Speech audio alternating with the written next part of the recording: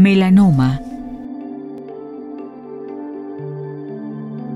Los melanocitos se encuentran en la membrana basal de la epidermis y son los responsables de sintetizar melanina, la cual, en condiciones normales, ayuda a la protección de los daños por los rayos UV. El melanoma es un tumor maligno de los melanocitos que se desarrolla como resultado a factores intrínsecos como la genética y factores extrínsecos, entre ellos la exposición solar. La radiación UV genera dímeros de timina formando mutaciones genéticas.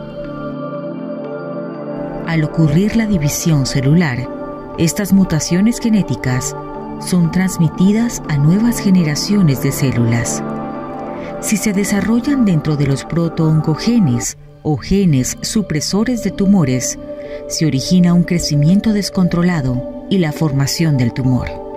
La historia familiar del melanoma es un factor de riesgo. Las mutaciones en el CDKN2, CDK4 y otros genes se han encontrado en familias propensas a melanoma. Estos genes son importantes en la regulación del ciclo celular.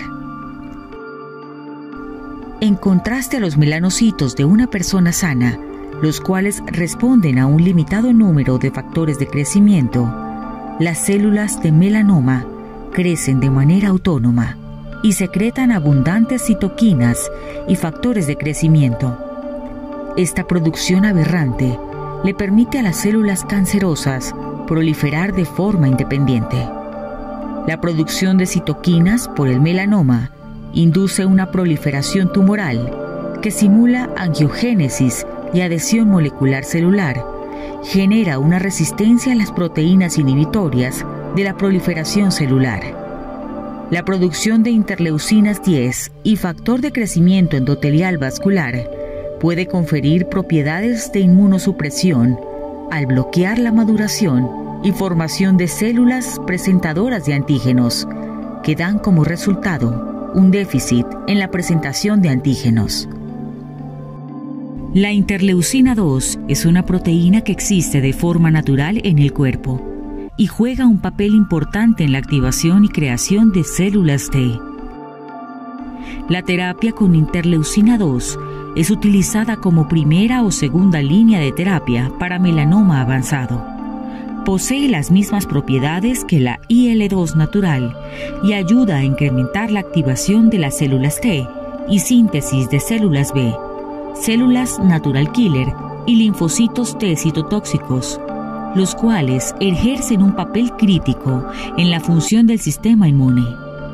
Una vez activado el linfocito T ayudador, secreta citoquinas como factor de necrosis tumoral e interferón gamma. Ambos tienen efecto antitumor. Linfocitos T citotóxicos y células natural killer atacan directamente a las células tumorales. Interferón alfa ha sido utilizado como un tratamiento adyuvante en el melanoma. El interferón funciona uniéndose a los receptores de superficie de las células e interactuando con genes específicos, tanto en células normales como en tumorales. Modula la expresión de células T, monocitos y células dendríticas en tejido tumoral y no tumoral, lo cual incrementa la respuesta inmune celular.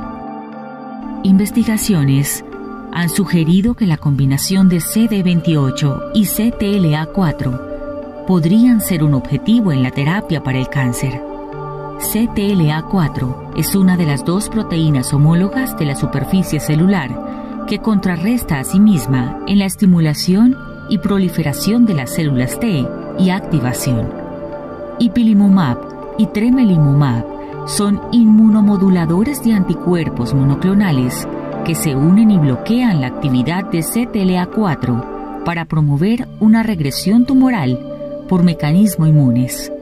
Estos medicamentos están actualmente en estudio en ensayos clínicos que se encuentran en fase 2 y 3. CTLA4 inhibe la activación de células T y de tal forma inhibe la secreción de IL-2, la cual actúa como una molécula de señalización del sistema inmune y factor de crecimiento. CD28 es un coestimulador de la proliferación de las células T y de la producción de IL2. Al inhibir el CTLA4 con anticuerpos, permite al CD28 iniciar una activación inmune que resulta en una erradicación del tumor. Es probable que el bloque del CTLA4 incremente la respuesta inmune por medio de la inhibición del regulador de las células T, promoviendo así la proliferación de células T y la liberación de citoquinas proinflamatorias y aumentando la respuesta de antígenos específicos tumorales.